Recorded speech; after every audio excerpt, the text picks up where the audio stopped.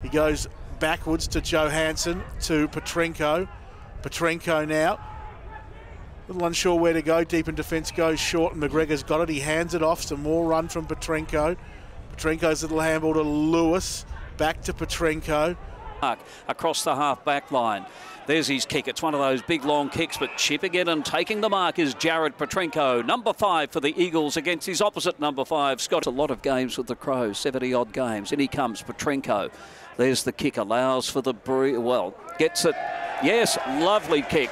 Jared Petrenko. So the breeze has not let up one little bit. There's Petrenko. He has been busy today, down towards the half forward line, and he will find Hall. Free kick the Eagles. Hayes gets off to Petrenko. He tips into the middle of Woodville over where Bosman. High kick from Seedsman back towards half forward where Westbrook spoils Thompson. Opens the door for the Eagles and Petrenko kicks towards half forward. For all the hard work they put in the Eagles as Petrenko, after a chain of handballs, dashes to half forward. It's been popular today.